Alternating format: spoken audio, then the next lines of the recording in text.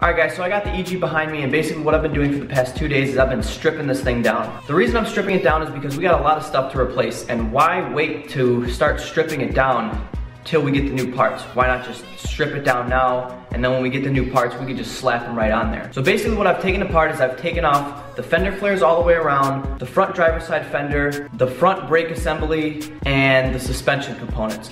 Now, I've only really been working in that area right there because over in that section, it's very, very tight. I think Austin's gonna join us a little bit later tonight and then we're gonna work on taking more of the stuff off like the axles and basically anything else we're gonna need to replace. So, Austin just got here and uh, right now we're gonna be taking out the fuel pump because we have talked to the previous owner of this car and he said it's got a huge fuel pump because this thing was originally going to be boosted. It was boosted. Uh, okay, so it was boosted at one point and it had a huge fuel pump to make hey, up for the pressure. So now basically we just got to replace it with a stock fuel pump. How many bolts is it? Like it's three bolts, and then there's.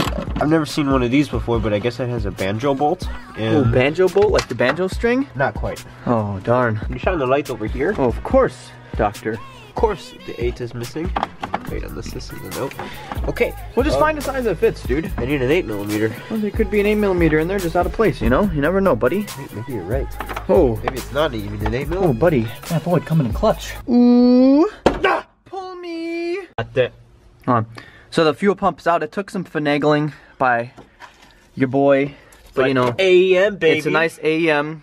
I think he said it was a 550. I don't know no, what that uh, number means. 305. Oh, 305. Yeah, I don't know what that number means. LPH means. liters per hour. LPH. That's how much this thing's pumping gas, and that's too much gas. Too much gas. That's why. That's why it's hard to start because it's basically rich, too rich. It's basically flooded all the time. Yeah.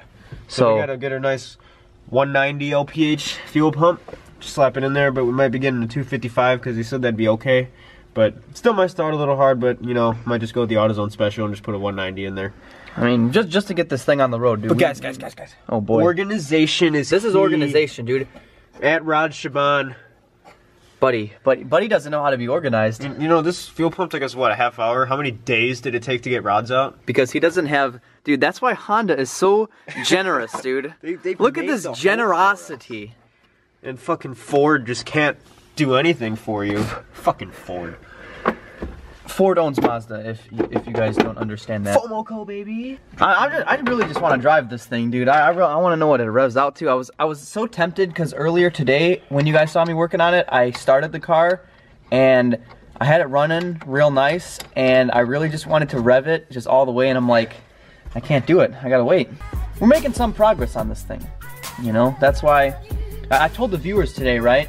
I told them in the beginning of the video that it's better to start taking shit apart now, even though that we don't have the parts to put back in it. Cause like say we say we go and get this fuel pump, right? This fuel pump's already out, so we just gotta slap it back yep. in, you know? And you know, the, the whole suspension components, that's gonna be already taken out, so then when we get the new parts, slap them right in. Replacing it anyways. I mean, like literally, uh, there's no. I mean, that's why we're taking so much crap apart is because things that we're we're basically taking as much stuff that needs to be replaced as possible. I mean, like I said in the beginning, this this is gonna be a toughie to get on this side, but I mean, we're gonna we're gonna have to make do with what we got. So this side axle's out. This whole side's out. This whole this whole side's pretty much out. I Let's mean, get this thing off. Yeah, we gotta we gotta get this fender liner off because we don't really need it. I mean, unless you know, just gotta. Oh yeah, we don't need that anymore. I mean, we're just gonna have to make sure we prep this thing so that, you know, this is all bare metal. We don't want this to rust. So I mean, it's already got some of it. It's already got some of it, but I know like since someone's going to be driving in the winter. Are we going to you know, keep those upper control arms or are we getting adjustable ones? I mean, we don't need it. We don't need it immediately, you know? Like we could keep stock camber for now. We, it's not necessary.